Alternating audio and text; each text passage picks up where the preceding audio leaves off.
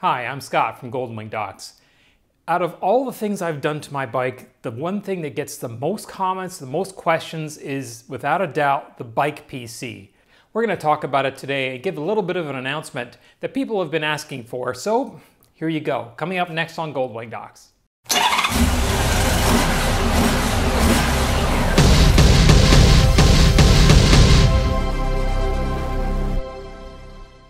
Right, first I have to apologize for the state of my hair. It's uh, a little overgrown and I've spent the entire morning underneath my car, so it's a bit of a disaster at the moment. Okay, the bike PC. Nine years ago, in 2012, I wanted a gear position indicator for my Goldwing. It was actually something that was available once when they had the digital dash on the earlier Goldwings. It just had a little number there, or N, showing you what gear you're in. Now that's really just a convenience. Most of the time, you know what gear you're in. You get to know your bike, you can tell by the speed and the sound of the engine what gear you're in. But once in a while, I just forget. Uh, most commonly, I'd be on the highway, and after I've been riding for a while, maybe I downshifted to pass somebody, and I didn't think about it, and I'm not really paying attention. Miles are clicking off, and I think, geez, the, the engine sounds like it's running a little bit high, and then realize, oh, I'm in fourth gear. Okay, so it's happened a few times. More commonly is when I would come to a stop, and I usually downshift through the gears till I get to second gear, and then come to a stop with the clutch in, and then once I've stopped, or just as I'm about to stop, I will shift down into first. Once in a while, that shift doesn't work. You'll be in second, you shift down, and you're maybe you're going too slow, there's not enough movement in the transmission for the shift to complete. You end up in neutral, or you end up in second gear. Second gear is not the end of the world because the bike is going to go. It's going to accelerate a little bit slowly. You're going to have to slip the clutch a bit more, but you'll get where you're going. Where it's a little bit dangerous is when you shift into neutral without realizing it. You don't see that big green N in your face, and then you try to start off and you're expecting the bike to go. You pick your feet up, and the bike doesn't go, and all of a sudden now you're balancing on a motionless bike it's just kind of a little reassuring help where you can look down and say, oh, yep, third gear. So the bike doesn't have that facility, but it has a gear position switch in it. So you could make something that would show what gear you're in it. I thought, I'm gonna make one. I first thought I'll just make some kind of discrete electronic component that looks at the various gear position switch lines and then displays it on a little digital display. But then I thought, you know what else I'd really like? A thermometer. So I started thinking, well, maybe if I had a little LCD screen, I could put the gear position switch and a thermometer in there. Why not? I've got the space. Of course, now we're getting into a little bit more logic. So maybe it needs to be a microprocessor in here as well. And especially if it's LCD screen, I'm gonna have to have some way of getting that data onto it. Now I have to qualify this. I am a computer programmer. It's what I have done for a living for a really, really long time, pretty much my entire life. I know electronics, I know computers, I've, I have done programming on everything from tiny little uh, PIC chips with the, you know, embedded processor chips to ancient mainframes, multi-user time-shared systems to modern web pages. I've done it, I've done pretty much all of it. Uh, I've also done quite a bit of electronic design, so I have that background as well.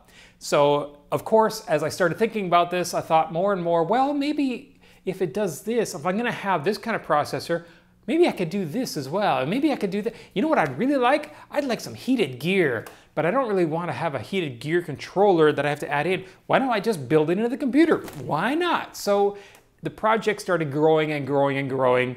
And as I came up with more and more ideas, I just added more and more code to it. We got to the point where we are today. I got my bike PC installed, I got it debugged, which took you know a lot of test rides and, and I had an issue with my original electronic design that I was able to overcome with code. So being able to find a, a, defect in your original circuit and think, oh, I really don't want to have to redesign and rebuild all those boards but then I thought about it, I thought, well, actually, I think I might be able to compensate for that in the program that runs the processor, and I was. So that, that's really kind of thrilling. It's kind of like what NASA does. They, they've got something off in Mars, they can't fix it, but they can probably work around by changing the code that operates the hardware, and that's what I did with this. So that was just fascinating. I, I just love that stuff. So let me just go over real quick uh, what this thing does. So here's the cockpit of my 1500. As you can see, my bike PC is right here. That's the screen of it. The actual computer itself is buried inside the fairing down in there. On the left side of the handlebar, I have this small pod where I have switches that let me turn lights and things on and off. And then on the back side of that, I have the controls that I use to control the bike PC. This is an up-down switch, momentary up-down, and then this is a push-button momentary select switch. All right, I've turned the lights off in here so you can better get an idea of what this thing does. When I switch it on, we get a, a screen that lights up. Halsco Group is my company name. And then we get the computer itself. This is the home screen. And of course, we see the temperature, what gear we're in, the voltage of the system, and then a little graph and a time clock. Now this time clock I use to count how long I've been riding. So what happens is when you're in neutral, that clock stays at zero, and as soon as you shift into gear and start moving, it starts counting up. And all that does is when I look down, I can say, well, you know what? I've been riding for an hour and 30 minutes. Maybe it's time to take a break. And it's actually quite useful. I really like that feature. Pushing my momentary button, I will cycle through the various different screens. First, we have glove heat, jacket heat, audio select, brightness, which I'll talk about in a moment, and some other options. Now my, my radio has some auxiliary functions built into it where I can plug in my satellite radio or an auxiliary input from a, a three and a half inch jack that I can plug in and I can switch between those and right now it's telling me I'm listening to the satellite radio. So let's go to the audio selection. So once I go to that screen, I can simply click the up or down switch and switch between the various inputs. So there I'm listening to the stock 1500 radio, here my auxiliary input, and here I'm listening to the satellite radio. If I do nothing and just leave this be, wait for a few seconds, it will automatically switch back to the main screen after a few seconds this will directly control high amperage heated gear. So I've got two channels on it. You can plug in directly. I've got my gloves and my jacket set up. So here I can adjust the duty cycle on the glove. So here is full power, maximum heat, or I can just put it all the way down to zero and turn it off. Same thing for the jacket, all the way on or all the way off. And, and that's really nice because I can adjust that heat level on the fly with very little uh, input. I can do it with my left hand without even thinking about it. Audio we just covered. Brightness. So you can adjust the brightness of the backlight of the screen and it does that with pulse width modulation. You can actually turn it all the way off if you want. And what that, that's used for is the amount of brightness in the nighttime. Now it has a, a photo cell on the top you can see here that looks at the ambient light. So in sunlight, this is at full brightness. At nighttime, it will, it will dim itself down and the level to which it dims itself is selected right here. So basically, I, I, think about 9 is what I generally have it on, which is about right. You'll notice that it starts out very bright, and then over the course of about 10 seconds or so, it will dim itself down. Now, I'm in a dark garage right now, so it's starting to dim itself down. And the reason it does that over a few seconds is so that if you go underneath a, a bridge and you get a shadow, your screen isn't going to start flickering back and forth. Now, it's pretty tough to tell in here uh, that the screen is actually dimming down because my camera is actually adjusting automatically for the difference in, in light level. But you can trust me, it's actually dimming itself down at this point. Lastly, we have options. The temperature graph, I can turn that on or off. So let me talk about the temperature graph first. As you can see here, it's 67.4 degrees in my, in my garage right now, and it is tracking over time what the temperature is. So you'll get a bar graph that kind of goes scrolls slowly across here and you can get an idea of what the temperature trends are, which is really helpful when you start seeing that coming down. You're like, okay, I know it's starting to get cold. Maybe I need to pull over and change my gear. Or you can see, uh, yeah, it's kind of fun. You can, if you go down to a valley where it's cooler, you can actually see it dip down over time. And it's actually quite a useful feature. So we can change that temperature graph and turn it off. And now instead, we have indicators that show our glove and jacket heat settings. So if I go and turn up the glove heat and the jacket heat, you'll see those values are now showing up there. So it's just a, at a quick glance, you can see what your heat, heated gear is set to. So I typically have this set to show the heated gear in cold weather, and then in hot weather, I will have it set to show the temperature. So I will switch it back to temperature. The temperature scale, you can change how long you want to show it. So 60 minutes, 90 minutes, 102 hours, all the way from five or anywhere. I think 45 is what I generally leave it at. It seems to work well at 45. Uh, I also had the ability to switch between boots and jacket. Right now it's set to jacket. I also have heated boots, so if I wanted to use that channel to, instead of gloves, uh, or rather instead of a jacket, show my uh, run my heated boots. It just changes the name of it in the little picture of a boot that I drew there. So it's just a little feature that lets me change that to, to help me remember which one it is. Negative LCD lets me basically turn it so it's dark on white. Uh, I much prefer it the other way around, but the option is there in case, you know, it, it was easy to do in software, so I did that.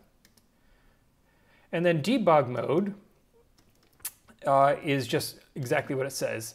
It lets me debug. There's little dots here in the bottom that, that indicate that the, the system is working. If, uh, if I go into the heated gear turn that on, oops, let me go to back to jacket.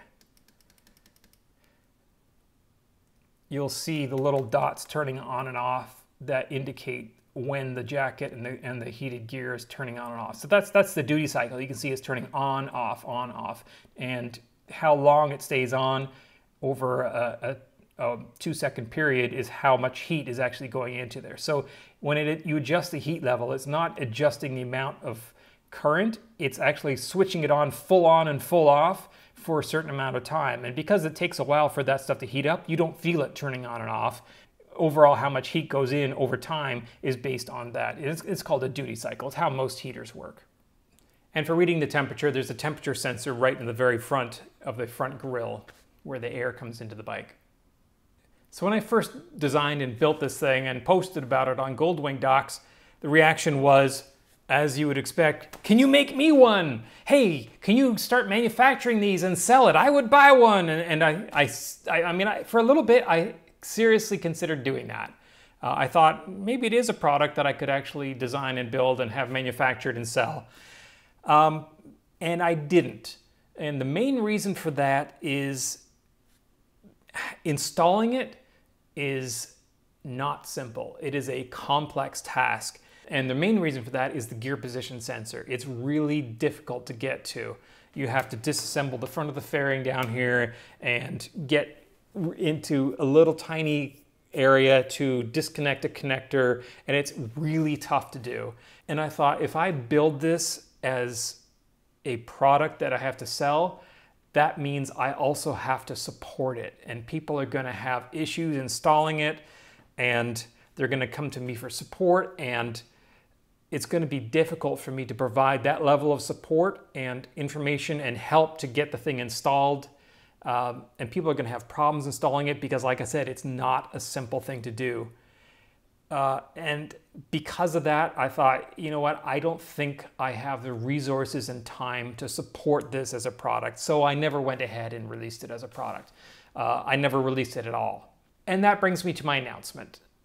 I thought enough people have asked me about this, and I actually had someone specifically say, hey, can you give me the, the, the code that you wrote for this? I'd like to build one. And, and that got me thinking.